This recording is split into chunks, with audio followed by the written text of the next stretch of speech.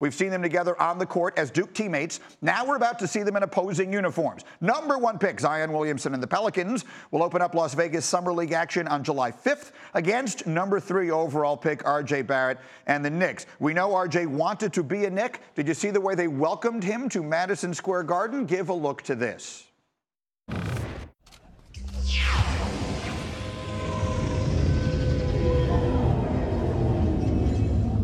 Ladies and gentlemen, at guard, at six-seven from Duke University, please welcome R.J.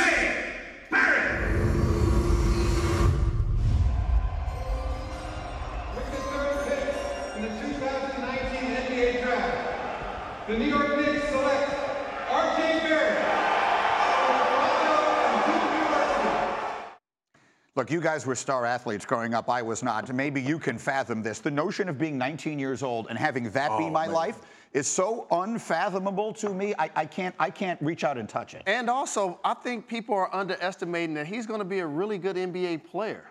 Like, he led Deacon, Duke in scoring, okay? He's going to be aggressive. I appreciate the way the Knicks are embracing him because he deserves that, Greeny.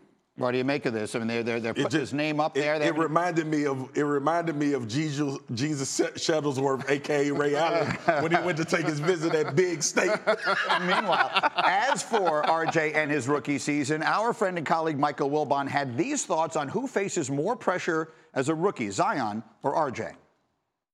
So the pressure might be greater on Zion outside of New Orleans, but in and where he's playing every day with somebody who's wise and going to tamp down uh, uh, expectations or at least try to, like David Griffin, yes, there will be pressure. Will there be the kind of pressure that is on his Duke teammate, RJ Barrett? I don't think there's any chance in the world the two situations will be comparable.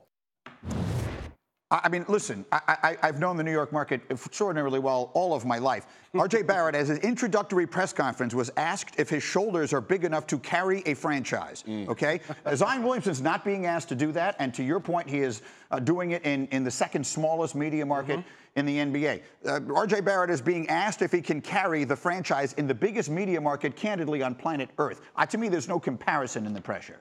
No comparison. No comparison. So you're talking about RJ and media market and Yeah. people. Right. I'm talking about Zion, LeBron, and all-time greats and $100 million shoe deal. Right. Zion has the most pressure. This is not even close. When you talk about potential players that came into the NBA and a lot of people felt like they were the marquee player coming out of the draft, not, not many people can say that they were more acclaimed than Zion Williamson. I, none could say that they're, they're, they got more attention than Zion Okay. Williamson, but that isn't what I mean.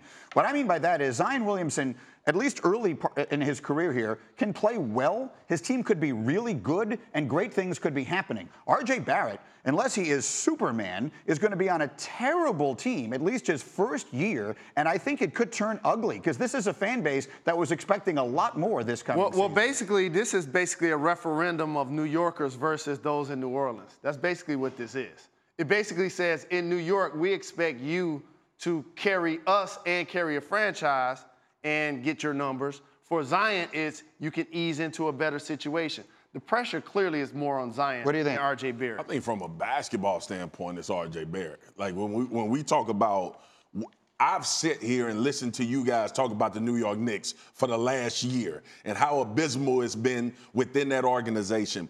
And thinking about this too, and we talked about it in the meeting. They let Porzingis go. Now I know there's an injury history, but Jay, that was their only sign of life So- before they let Kristaps Oh, go. oh, so, so we're gonna go from calling Zion the greatest to now saying he don't even have the highest expectation in his own draft. because he got the extraordinarily unique circumstance of being drafted into a good situation. Green. He can just be a piece Green. of that How about puzzle. this? How about this?